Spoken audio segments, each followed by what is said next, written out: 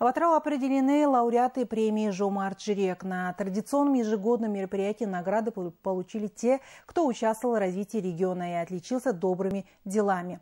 Лауреатов поздравил заместитель Акима города Ербулат Уразбаев. Подробнее в сюжете. Как известно, во время мировой пандемии президент страны призвал всех предпринимателей оказывать всемирную поддержку и помощь своим соотечественникам. Не остались без внимания и волонтеры области – один из них – Нурлбек Даралиев. Во время карантина он доставил в поликлинике 100 кислородных аппаратов и медикаментов из России на сумму 13 миллионов тенге. Кроме того, оказал помощь одеждой и продуктами питания более 500 семьям, имеющих детей с ограниченными возможностями. Кемелұлы. Это служение народу и стране. Глава государства в своем послании народу сказал, что если мы сами не будем работать для страны, то никто не будет делать это извне. Я уверен, что если мы будем поддерживать друг друга, не разделяться, а вместе делать такие добрые дела в делах нашего народа, государства, то наша страна будет двигаться вперед.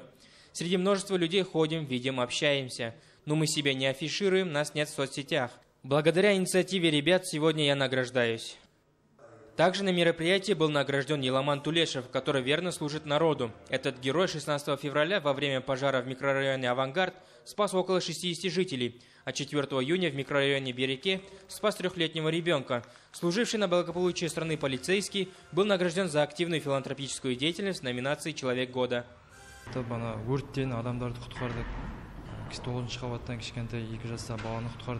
Мы спасли людей из пожара. Я спас маленького двухлетнего мальчика с девятого этажа, но и не считаю его своим подвигом.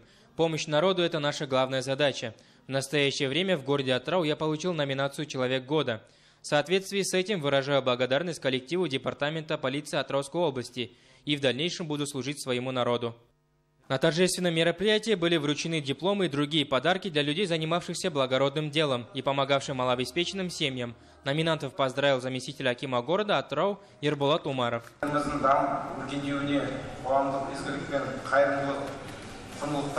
Выражаем признательность за процветание нашей страны, за деятельность по пропаганде добра и благотворительных ценностей. Поздравляю вас с награждением, желаю здоровья и благополучия вашим семьям. Уверен, что и в будущем мы добьемся таких больших успехов.